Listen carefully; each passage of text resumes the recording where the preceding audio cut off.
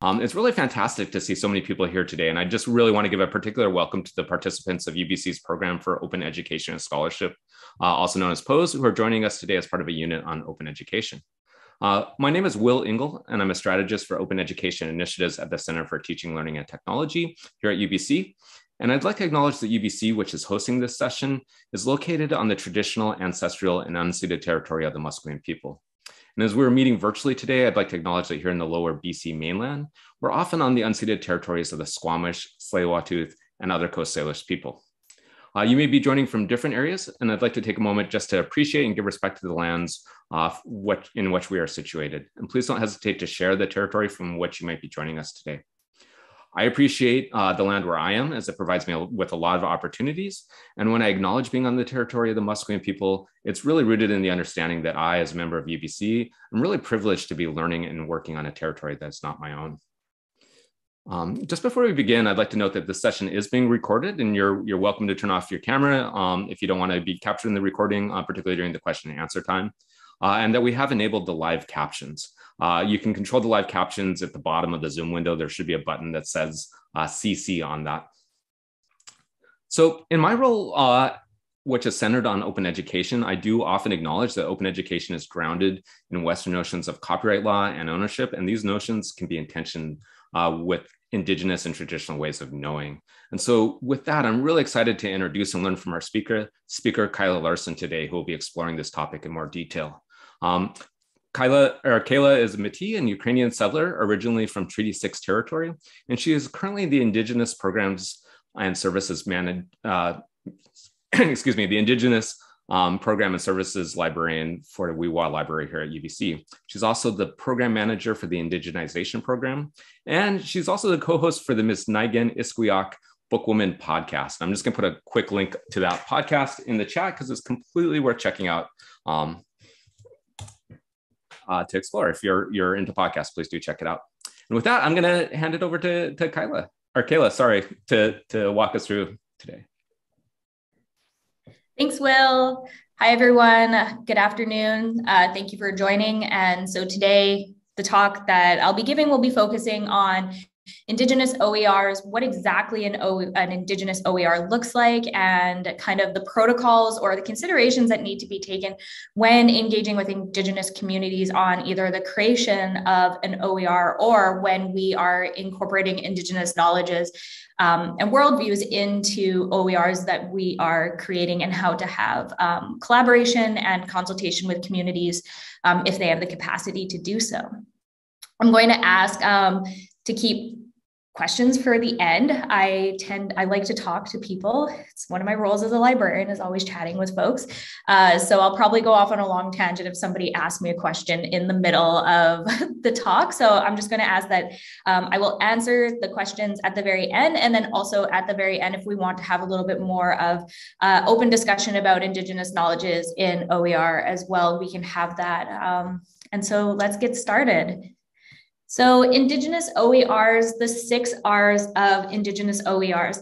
And hopefully by the end, you'll be like, you'll have a better understanding. What exactly do I mean when I'm talking about the six R's and how did I come up with the six R's and how can we start to begin to incorporate them into OER practices, but also thinking about how we can take worldviews such as the four R's, which I will be talking about later, and incorporating them into our own practices and understanding our roles as academics, students, faculty members, and how we have to begin to think a little bit differently when engaging with Indigenous knowledges. It goes outside of the kind of the Western norm that we're taught in academia about what is allowed to be shared, what is knowledge, who has authority. So, welcome to the Indigenous OER panel. So first of all, I'd like to I'll just start off um, like Will did in acknowledging that I am here joining you today as an uninvited guest from the traditional territory of the Hunkaminam speaking Musqueam Nation. Um, additionally, I live on the shared ter- territories of the Musqueam, Squamish, and tsleil nations. Um, and I am invited, and sorry, I am an uninvited guest and an uninvited Indigenous guest on these nations. And I like to thank them for allowing me to continue to work and live here and also to acknowledge all the communities who you are joining from and the lands that you're joining from um, and the folks that have been there since time immemorial. So first off, when talking about Indigenous knowledges and kind of coming into this virtual space that we're all joining today um, in an important way and in a way where we're getting to know each other. I think the first thing that I always like to do when coming into um, presentations is to really locate myself and talk about the importance of locating ourselves. And the importance of locating ourselves will come in later into OER practices and working with Indigenous communities. So when we locate ourselves, it reconnects us to ourselves, our people, and our stories as powerful forms of cultural resistance and is the basic building block to having deep relations with others. And that's what we're doing today. We're all in this virtual space building relationships with one another. Now that you've gotten to see my face, hear my voice, and you'll be listening to this presentation, if you see me on campus, definitely feel free to wave or let me know who you are so that we can continue to build the relations outside of this virtual space. So when we locate ourselves, we often ask, who is your kin?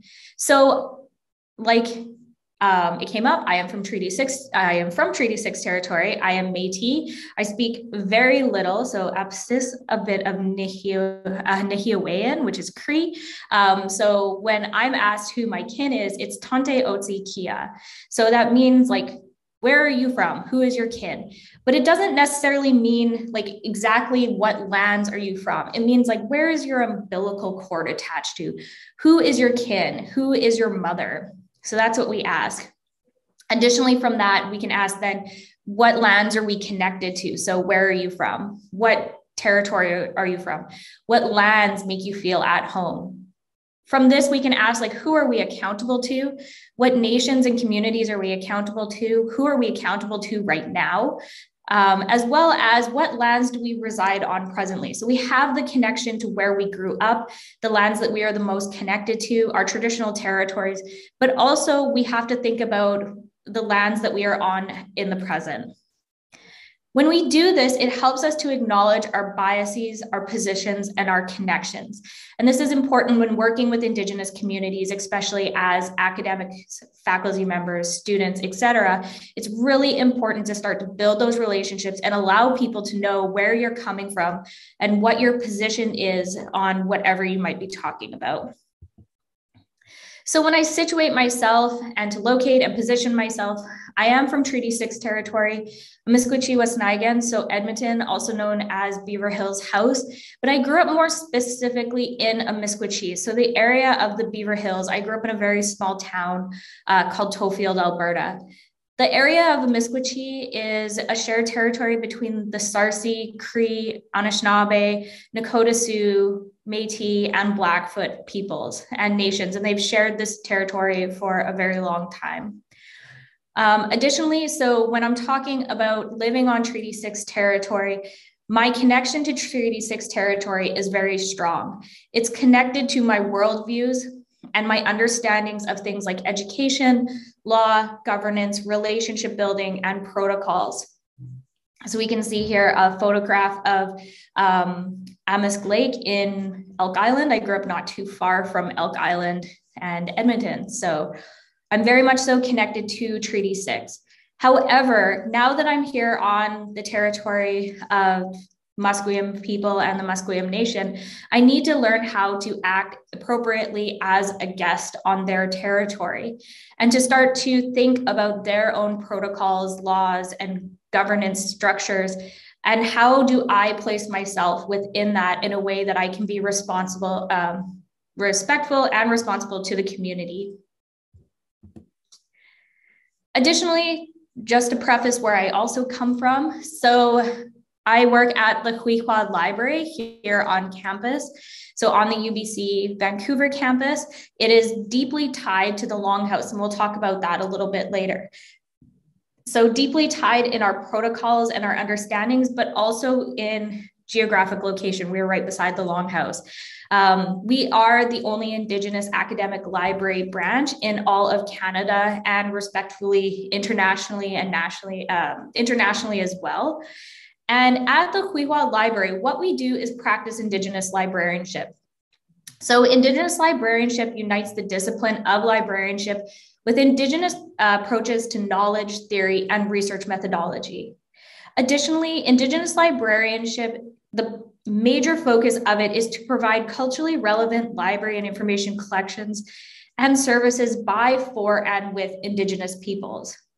Additionally, Indigenous uh, librarianship is grounded in the contemporary realities of Indigenous peoples and Indigenous aspirations for self governance and sovereignty. And this idea of self governance and sovereignty is important when we talk about OERs later a lot of the work that I do is connecting with community. My work is very outward. I have other colleagues, so Karleen Delaurier Lyle, who's the information profession, uh, information services librarian, also an information professional though, but the information services librarian for the Xwi7xwa Library does a lot more of the inward work. So working with faculty, staff, and students on liaison work. A lot of my work is more outward, working with communities, working with other organizations to have conversations around things like research and OERs. So it's always good to start off by kind of coming together on the same page of what Indigenous knowledges are and what Indigenous worldviews are, especially because we're talking about them in the context of open education and open educational resources. So, Indigenous worldviews, um, and these are from Leanne Simpson, but in general, Indigenous worldviews are holistic, slick, uh, cyclical, and dependent upon relationships and connections to living and non living beings and entities. There are many truths within an Indigenous worldview, um, and these truths are dependent upon the individual's experience. Everything is alive, all things are equal, the land is sacred, and relationships between people and the spiritual world are important. Within an Indigenous worldview, often humans are seen as being the least important thing in the world. And within Indigenous worldviews are Indigenous knowledges. So there's in general about three different types of indigenous knowledges or how they evolve. So indigenous knowledges are evolved from traditional knowledges. And so traditional knowledges are living chronicles and origins, trajectories and achievements of indigenous peoples. Empirical knowledges, so these are careful observations and relationships to humans and non-humans. It's ecological and accumulated all um, over time. And then also revealed knowledges. So sometimes knowledges are revealed through things like dreams, visions, and, in, and intuition. And then there's five characteristics of Indigenous knowledges. They're personal, orally transmitted with exceptions. So these exceptions might be um, like pictographs, pet, uh, pictographs, so carvings and paintings on rocks. Also tattoos, can be a form of knowledge as well and a story on our own body. Experiential, so knowledges can be experiential. Often we see this with experiences on the land. You cannot actually know without being there. Not all of your senses are activated. So I can tell you what it's like to go to Lynn Canyon and hike in Lynn Canyon, but you can't actually experience without going there. You can't smell the smell of cedar around you. You can't hear the water rushing you can't feel the softness of the earth underneath you. You actually have to be there and be present. Additionally, Indigenous knowledges are holistic, so they bring together the inner and the outer world, the physical with the spiritual. And then they're narratives. So often, Indigenous knowledges use metaphors to present moral choices and self reflection as well. And then within these knowledges, we can break it down further to different types of Indigenous knowledges. And each type of Indigenous knowledge has different protocols and protections and ways that we engage with them. So the first off are traditional knowledges, as we've talked about before. So traditional knowledges are knowledges, know-how, skills, and practices that have been developed, sustained, and passed from generation to generation within a community, often forming part of its cultural or spiritual identity. And often these are the knowledges that are most protected. And especially when we're looking at issues within copyright, these are the more challenging knowledges for communities to claim ownership within a Canadian context over. But also, it's important to realize that traditional knowledges are some of the most important knowledges within communities. Additionally, we have Indigenous cultural expressions. So, similar to TK, as it often includes traditional knowledges in the output of it, and Indigenous cultural expressions include things like dances, regalia, design, songs, etc. So, for an example, here we have a jacket, so like a Cowichan jacket, and that would be an example of an Indigenous uh, cultural expression. The meaning behind the design or any of the traditional knowledge or story that goes into the jacket would be the TK that's incorporated into it. In general, Indigenous cultural expressions are easier to cover under copyright law um, because they're more tangible. And so these are the things that we often see being challenged within copyright law and copyright around designs, jackets, things like that. There was the case with Aritzia years ago when they had jackets that were along the lines of this. And those types of things are e- more easily challenged within the Canadian court system. And then we have biocultural and genetic resources. So, biocultural and genetic resources include things like microorganisms, plant varieties, animal breeds, etc. So, this work with biocultural and genetic resources, and when it comes to uh, knowledge preservation around these items, is fairly new. Um, however, it's very important a lot of the work around this is coming out of our relatives in Aotearoa, so in New Zealand, and Maori individuals, looking at how they can take their own understandings and worldviews and incorporate that into genetic resource protection. With these types of knowledges that we've just seen, so traditional knowledges, the cultural expressions, and the biocultural um, items, there are specific knowledge sharing protocols that go along with these different types of knowledges that differ from community to community. So often these protocols for knowledge sharing and data sharing use a collective knowledge and incorporate some type of law that is um, known within the community. And it's important to realize, especially within the Canadian context, and having three different distinct groups um, First Nations, Metis, and Inuit who also within these groups have distinct communities and language representation.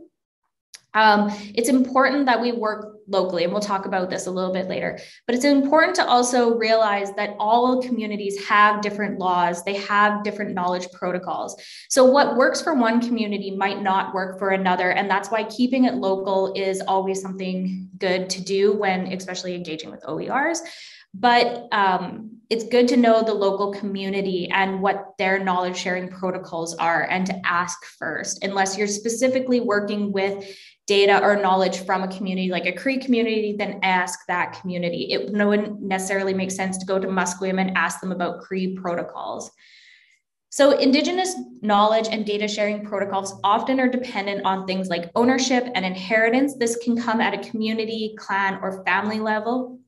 They're earned, can be dependent on age, gender identity, geography, season. So um, we're just coming out of the time of storytelling. So winter in a lot of communities is the time for telling sacred stories.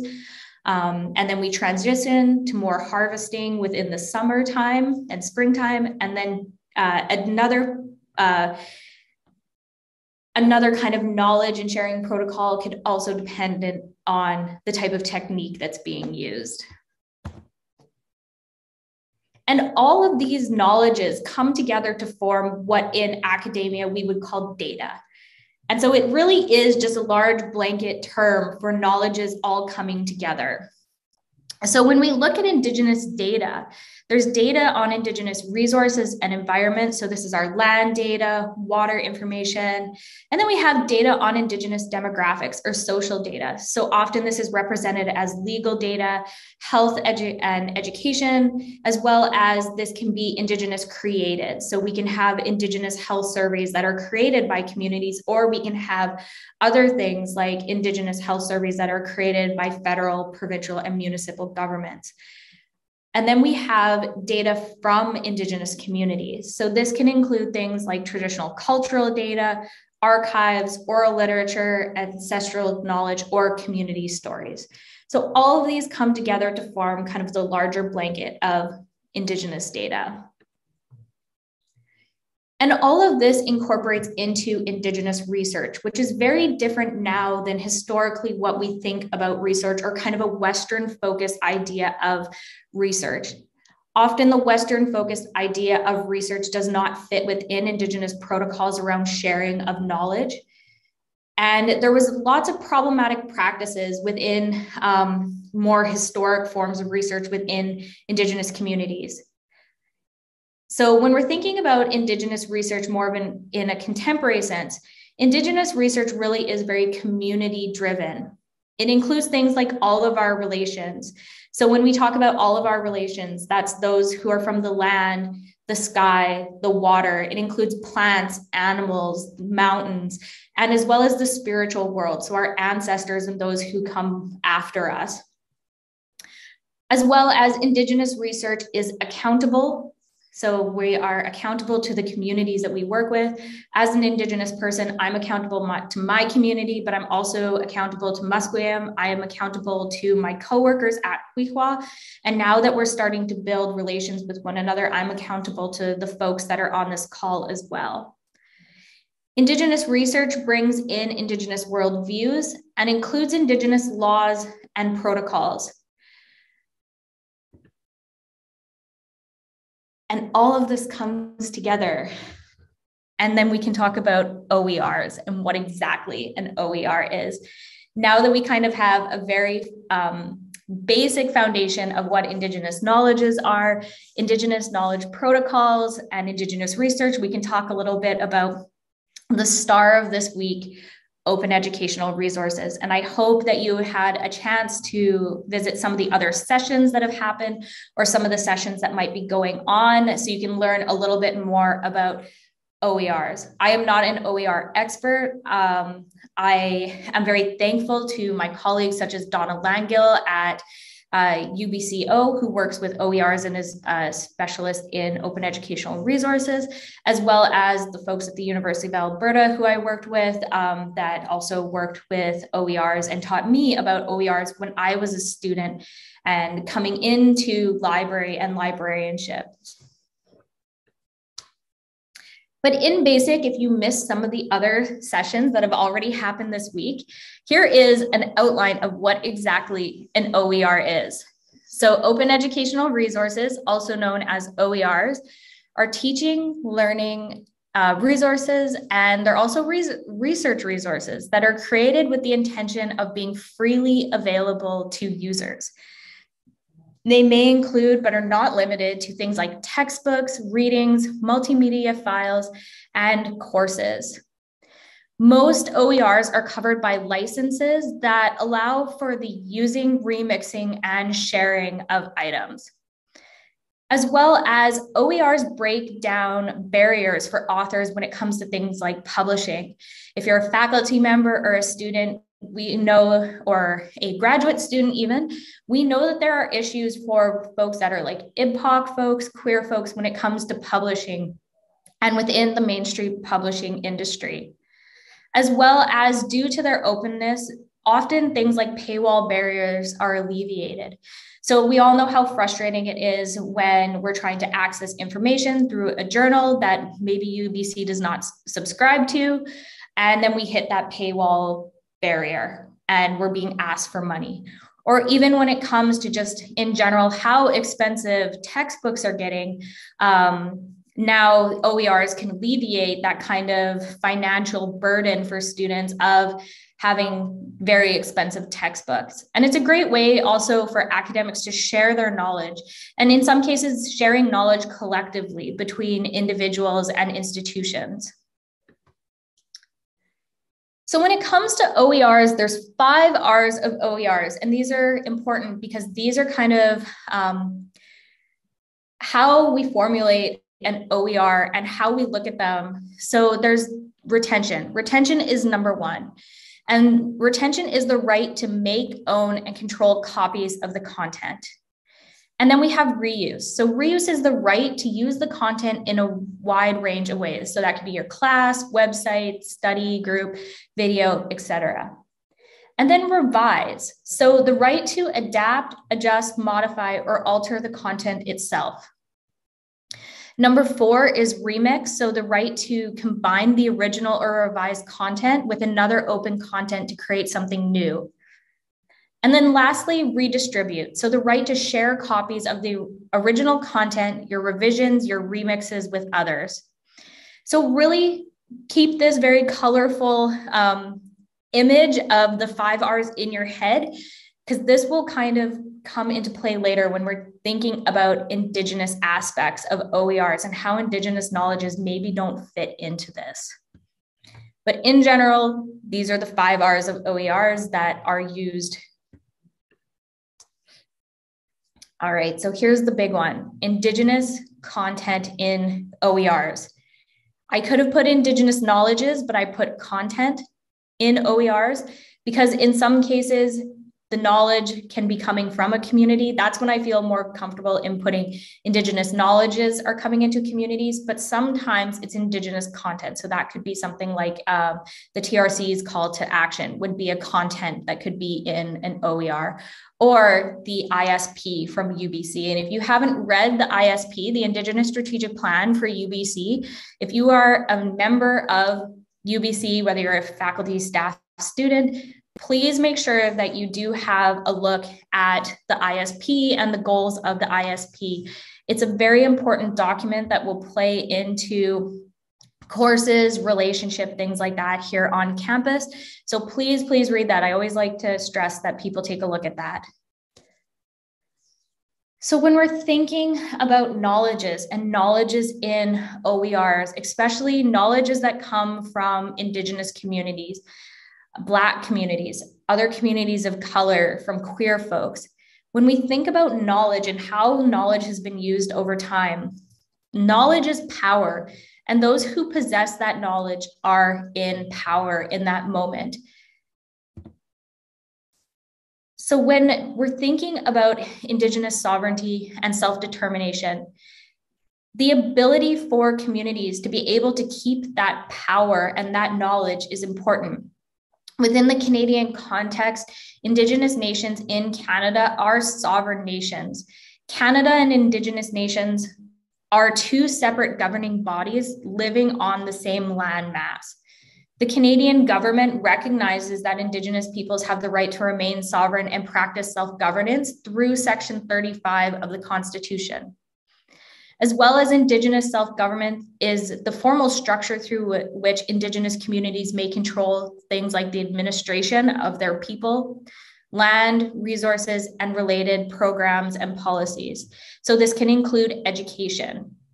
This can also include things like their cultural management and their land management, which come together part of this sovereignty that is really challenging, especially within an academic context. And this also looks as, at power structures.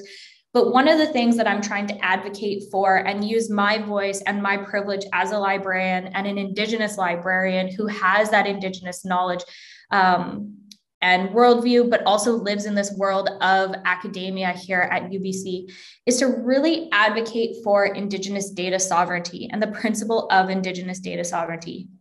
Indigenous data sovereignty is not law, but it is something that we can kind of remind ourselves about when, when we're working with Indigenous knowledges. Indigenous data sovereignty is the concept that Indigenous nations have the right to ownership and governance over data about them, regardless of where it is held and who holds that. Indigenous nations have the right to govern data in ways that align with their own protocols and laws, and Indigenous people have the right to access data that supports nation rebuilding. So often this includes access to government documents, both historic and contemporary and archival documents. However, one thing to note that with Indigenous data sovereignty and sovereignty is that often it comes up in challenge with Canadian copyright law. In general, in Canada, although it is changing and it's ever changing with conversations. Um, however, there's no change to the Canadian Copyright Act. But in general, copyright, when it comes to Indigenous knowledges, is hard to prove. Expressions of traditional knowledge often don't qualify protect, for protection because they are too old and therefore supposedly in the public domain. Additionally, the author of the material is often not identifiable, and therefore there is no rights holder in the normal sense. And additionally, knowledges are collectively owned by Indigenous groups and communities for cultural claims and not by individuals for corporate or economic claims. So, in one hand, we have the government of Canada acknowledging that Indigenous nations have the right to self determination and to self governance. But then, on the other hand, and acknowledge that they are sovereign nations. But then, on the other hand, we have things like the Copyright Act, which challenges that sovereignty and governance when it comes to Indigenous knowledges and who's allowed to use those knowledges and the protections over those knowledges. So when it comes to Indigenous knowledges in OERs, we really need to think differently. There's a different approach to Indigenous OERs than there is in making other OERs, mainly because of knowledge protections and sovereignty, and making sure that we don't do wrong and replicate problematic practices of the past, especially when it came to research, of not asking a big thing that we often hear within Indigenous communities when it comes to consultation is nothing about us without us. And that's the goal here with Indigenous OERs as well. So when we think about OERs, one place that we can start, and this is a great resource and a great organization for people to think about because it does bring in concepts of open access, but just kind of changed it, is GIDA. So GIDA is the Global Indigenous Data Alliance. One thing that Gita, that GIDA did is they looked at the FAIR principles of open access. So the FAIR principles are findability, accessible, interoperable, and reusable. So they looked at those and created what I like to call FAIR Plus, but their little hashtag is be fair and care, which is amazing because it's super easy to remember. And they created the CARE principles that go on to FAIR. So CARE stands for collective benefit, authority of control, responsibility, and ethics. So, taking the FAIR principles of open access and thinking about it from a different lens, incorporating those Indigenous worldviews about control, responsibility, and ethics. And they have a website where you can learn more about um, the GIDA principles and GIDA themselves as an organization. So, when looking at OERs, it's important to think who is the audience. So, who is driving the creation of the OER? Is it an Indigenous community? Is it the public? Is this for settler education? Because this will be different in how consultation happens or how even the front face of the OER might be, or if there's any restrictions. What is the age range that is um, going to be using this OER? And what is the education level of folks that will be also engaging with this OER? And the location is important too. As I said, not all communities. So if this is a community driven OER and you're helping to engage with the community to build it, it's going to have very different protocols than where you might actually be located. So, like I gave the example of Cree folks and people from Musqueam as well. So, the location is very important and the protocols that happen within those nations and your geographic location. Context. Context is hugely important when it comes to what actually can be shared and not be shared. So, context and content. The things that we need to ask ourselves in this case is what kind of knowledges are actually being shared? Are there any specific protocols? And think back to the protocols. So, what are the protocols that need to be adhered to when we are sharing these knowledges? Is there consent from the community to share this information? Is this primary or secondary information that we're sharing? Are we sharing elder stories? Are we sharing um, testimonies from important court cases? Or is this something else that we are sharing? So, secondary information. And how can we actually support this OER? What is the role that we need to take in the support for this OER? Are we simply just a user of it? Are we are we helping to generate content? Are we developing the OER? There's lots of questions that need to be asked when kind of working with OERs, depending on you know if they're community driven if it's for settler education et cetera there's lots of questions that need to be answered. One of the things, though, that we need to consider even if the OER is for, you know, not for a community, but for something else, is that we need to allow Indigenous peoples to take the lead, especially when it comes to information being shared about their communities, their lived histories, and their knowledges. The most important thing that we can do is consult with communities and take that and let them take the lead on what content and knowledges should be included in an OER as well as we need to allow for the building of capacity for communities to create OERs at all steps, as well as building relationships. Building relationships is hugely important when it comes to OERs, academia, and building that also that trust and accountability with one another. So, questioning the five R's. This is the thing to do. All right, so let's start thinking. When we look at the five R's, so retain, reuse, revise, remix, and redistribute, thinking about Indigenous protocols, protections of TK, copyright, kind of all the things that we just talked about, do the five R's really make sense when it comes to Indigenous OERs? I looked at it and immediately red flags were going up with things like retain. So if I am the individual that makes the OER, technically within Canadian copyright law, it can be altered, but there is that kind of that I am the owner. There's that kind of implement, implementation that I am the owner, as well as reuse. We don't want all Indigenous content to be reviewed, uh, reused or revised or remit, remixed. And redistribution can be highly problematic as well. So we really need to think differently. So, as of right now, there are no kind of federally, internationally accepted best practice for an Indigenous OER. Indigenous OERs are fairly new, and there's not even a lot of um, academic literature being written about them. There are Indigenous OERs that exist. You can read the McCracken and Hogan paper, and it lists all the Indigenous that OER, Indigenous OERs that existed at the time of that publication. However, there is no best practice that is kind of like a standard that's been set out. However, the McCracken and Hogan paper did take kind of the first shot at what exactly and best practice for Indigenous OER would be.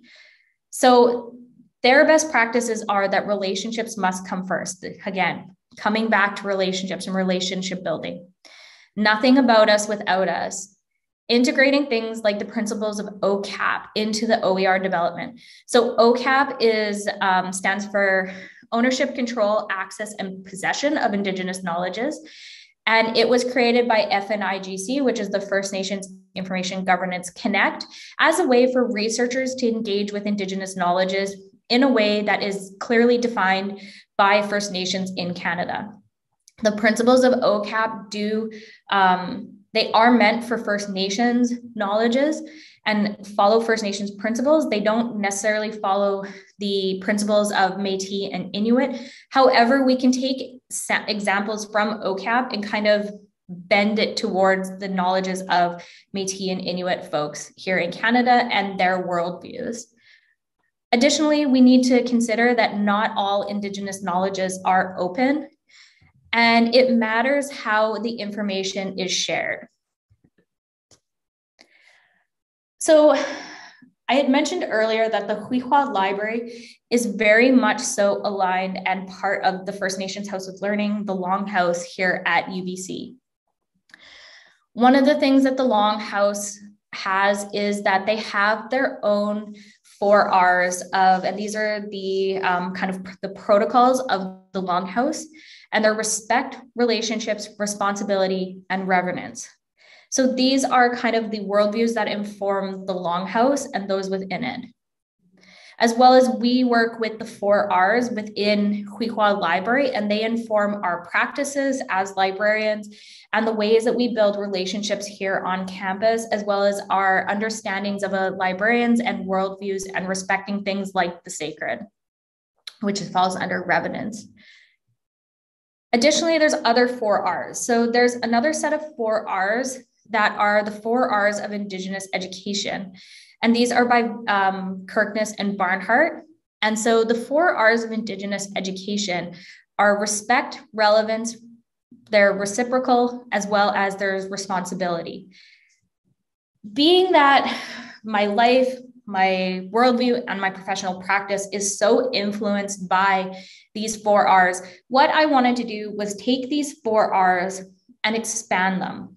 Take a worldview that I already know and expand it to fit into Indigenous OERs and take those five R's, kind of forget about them, and create the six R's of Indigenous OERs based off of these two different sets of four R's of Indigenous education and the Longhouse. So, this is kind of how I came to the six R's.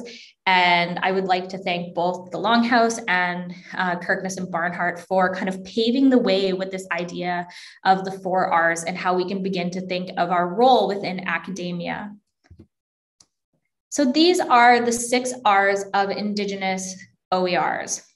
So the first one was respect. Respect for Indigenous cultural identity, communities, and topics. So we need to have respect within our open educational resources. We need to bring in relationships. So relationships connects to the concept of all of our relations and building relations with communities. Responsibility is hugely important. We, are, we have the responsibility to share only when we are allowed and to publish in an ethical way that considers things like ownership, protocols, and community practices as well as reverence, respect for the sacred. We would not share sacred indigenous knowledges, sacred community knowledges, or treat sacred knowledges in a way that they are lesser than academic knowledges, as well as relevance. So we need to legitimize and incorporate indigenous knowledges into curriculum in a way that makes sense and is controlled by community as well as reciprocity is highly important. So, reciprocity and the principle of giving back. So, for me as a librarian, I can give back by giving talks like this, helping with the development of OERs, helping communities to develop their own OERs and building that capacity or helping to find information that might be relevant to the o, to the OER that is being created through my work at Xwi7xwa Library or connecting with individuals like Karleen, um, my colleague. So these are the six kind of R's of Indigenous OERs. And I really hope that one day we have more of a better understanding and a group of practitioners that can come together to create more of a standard best practice for the incorporation of Indigenous knowledges into OER so that we can begin to do better with our OER practices and challenge the idea of what should be open and what shouldn't be open. And so that is my presentation on Indigenous OERs. We have time for questions and dialogue after, and I wanted to leave some time for that so that we could begin to talk a little bit more about this. But I do have my contact.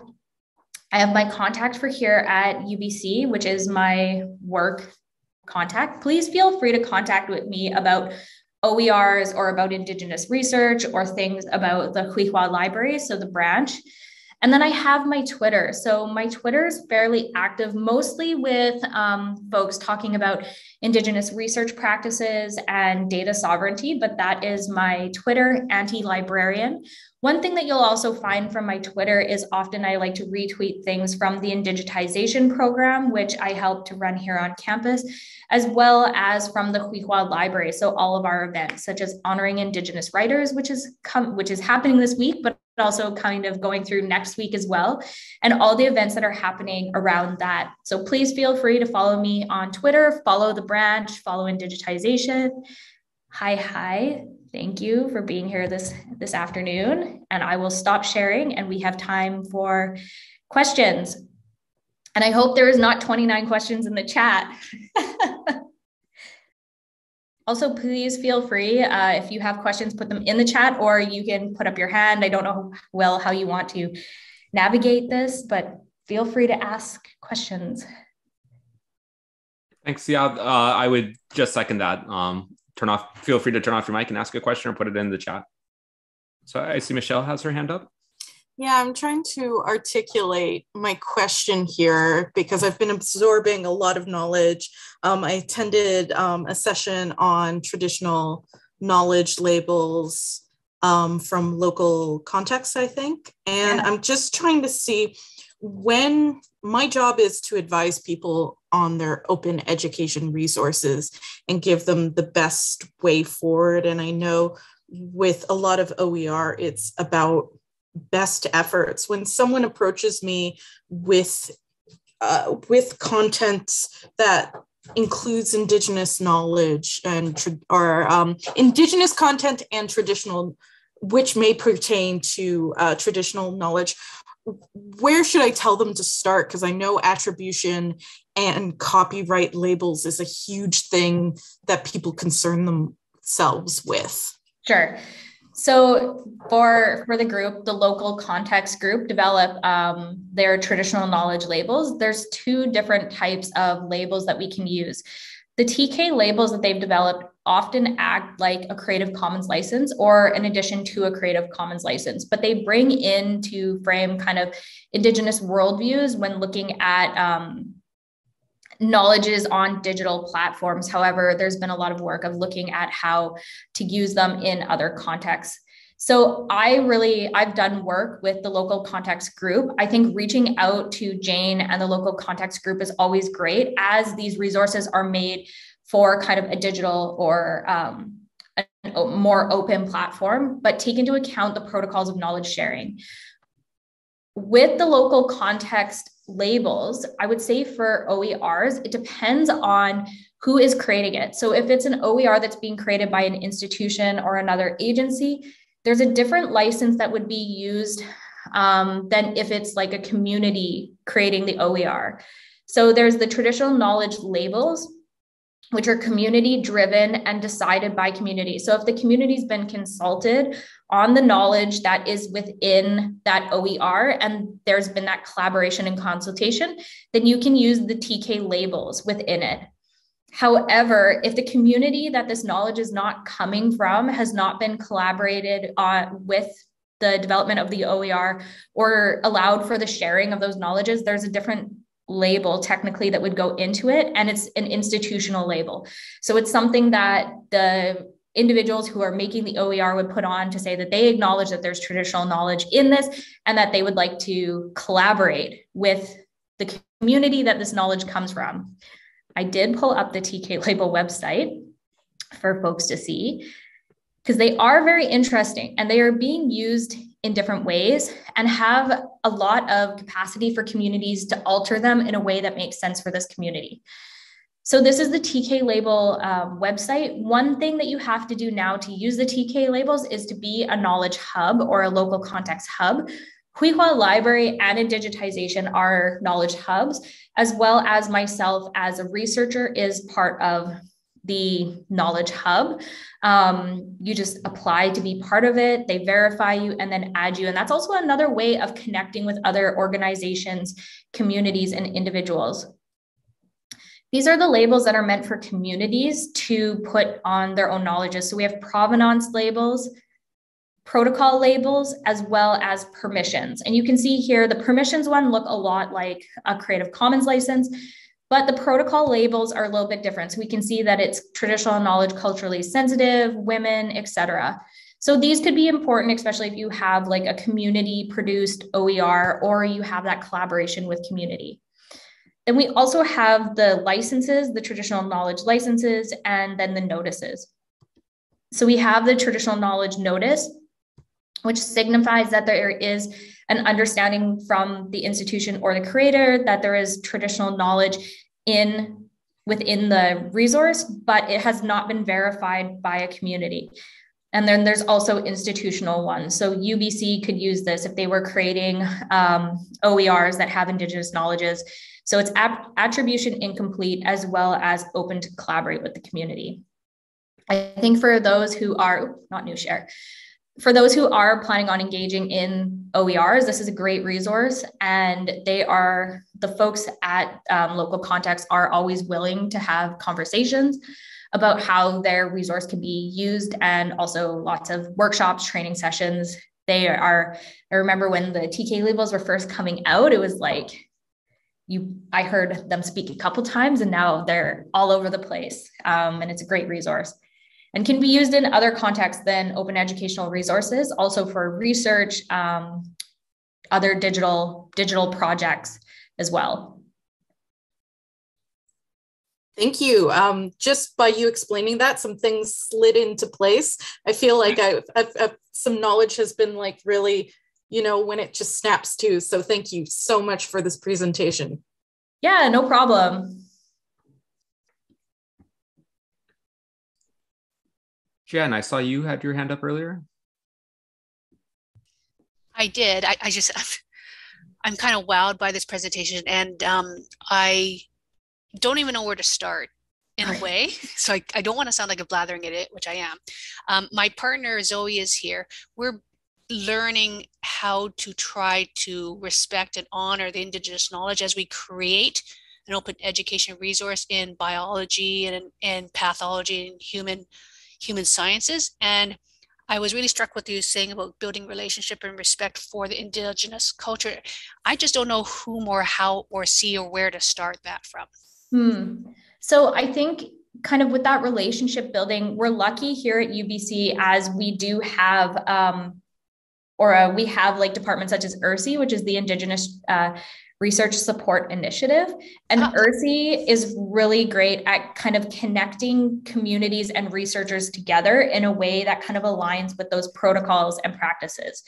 When it comes to um, finding Indigenous content and being able to incorporate Indigenous content into things like teaching, learning, OERs, and kind of that really um, important ver- almost like verified secondary information i would say definitely contact karleen at the branch or myself as we do things in working with or um, folks like ctlt to collaborate on their indigenous initiatives and helping for like faculty members um, and folks like yourself for creating oers and being able to in- incorporate indigenous voices into those resources so I would say definitely contact IRSI for that relationship building part. Um, and then feel free to reach out to us when it comes to finding resources or even um, looking at lib guides that we have. We have lots of lib guides that are absolutely amazing and a kind of an area with tons of knowledge in it. Um, and also through uh, CTLT, they have their Indigenous initiatives.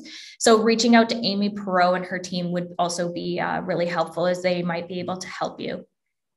Okay, thank you. That's just, you just like jumped, we're like 20 kilometers farther ahead than we were before. So thank you. Okay. Nina, uh, I see you have your hand up. Yeah, um, I'm uh, I'm working on a, a pro, I'm a settler, non non indigenous person working on a, an OER for my um, Japanese language class and trying to incorporate um, material from uh, regarding the indigenous people of, of Japan, the Ainu people.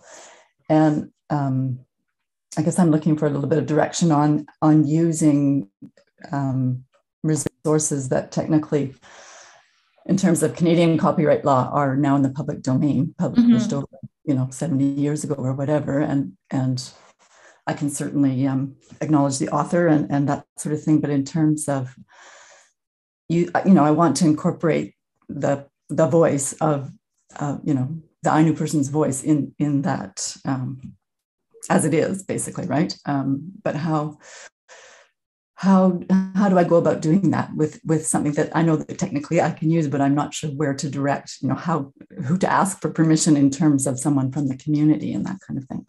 Yeah. So in regards to asking someone from the community. Um, that might be a little bit harder. I mean, the one thing that we can always do is that within the creation of the resource and the OER is to just acknowledge where the knowledge has come from, give some additional information about the community and where the knowledges originate from, and really thank them Additionally, this might be a good opportunity to collaborate with the Asian Library and with the librarians there who work with the collections, and they might be able to connect you to community members um, or somebody who might have more authority to be able to um, give you information about how you could better acknowledge the, the Ainu community and where the um, information is coming from. But I think in general, that kind of locating and thanking of folks and for being able to use their knowledges. And even if you were to put in there, like that you understand that within Canadian copyright law, um, this knowledge is met is able to be shared freely, but that this might not follow protocol. And then adding something like one of those um, one of those um, institutional notices saying that would signify to somebody if there is something like attribution is missing or you're willing to collaborate or it just acknowledges that knowledge and the local context licenses, um, it's not just for First Nations or in, um, in Canada. It's a collaboration that really started with Maori individuals and um, our neighbors in the United States as well. So it is used for multiple communities, multiple Indigenous communities. So this might be actually a good chance to reach out to Jane and that crew too to see how they might be able to support your OER and working with Ainu communities. But I think checking in with the Asian Library, um, thinking about local context, but also just doing that acknowledgement and that of you know how prob- problematic copyright can be but also where those knowledges come from is kind of taking that first step to the redresses of you know the in some cases the um, sharing of knowledges that are not ours to share through academia I hope that helps. I'm not an Ainu specialist, so it's a community I've never really worked with before, but just thinking about what we've done with other communities that I work with, that's kind of along the same same lines. Great, thanks very much. Sorry, uh, Dagmar, I see you have your hand up. Yes, uh, my question. Uh, hi, thank you so much for this uh, session. So much to think about, and we had that a little bit. I'm also part of this POSE course, and we had a little bit discussion about that in our previous session already when we were talking about open access and you know all this copy western colonial copyright intellectual system mm. which we kind of still have and follow in a way and we had some really interesting discussions there i myself work um, about tibetan buddhism and um, also bhutanese buddhism so i work a lot with tibetan and bhutanese communities and also partially indigenous communities within Bhutan and, and Tibet. And, um, and so I felt like the six R's are so relevant for a lot of other areas as mm-hmm. well. And are things what with, with I'm struggling with as a scholar often also. So, so what do I do when I have shared knowledge, when I have knowledge which is supposedly for some of the community secret and um, other parts of the community allow me to use it and you know always you have this kind of feeling mm-hmm. like you're extracting something and you don't want to of course not do that and you don't want to follow this kind of um, yeah um, history of extraction and so i think uh, there's a lot of um, a lot of people who work kind of in cultures that they are not their own basically have have to think about this all the time so do you have some advice how we can bring forward also this bigger discussion of changing the legal and you know other frameworks and learn um, you know how to bring in all these important aspects. Respect relationship collaboration responsibility i mean that that should be you know on the agenda for kind of responsible scholar anyway or teacher. So yeah any advice maybe? It's a very broad question i know but um, yeah. When it comes especially to research and researching with a community that's not your own community and kind of ideas around protocol and knowledge sharing and what should be shared and not shared. I think even starting to have conversations within your own unit. Um, so within the department that you work with, having conversations with community members and then having larger conversations with things like research ethics boards. Um, it's kind of the place to start. So having those conversations about where we're struggling um, when it comes to knowledge sharing what is not working within the institution and what might be working. And then even looking kind of at what other institutions or what other communities are doing. And then how can we find kind of a best practice that fits within the communities that we're working with or within our own research. So just even opening up and starting to have those conversations. I find that usually the starting of having one conversation leads to a larger thing. And in some cases, transformative change happening within organizations and institutions. And I've seen that with a lot with Indigenous data sovereignty in Canada. When I graduated in 2018 with my master's, not really anyone was talking about it. Um, since then, it has become hugely popular. It's something that often is coming up at conferences. It's something that we're seeing lots of webinars on.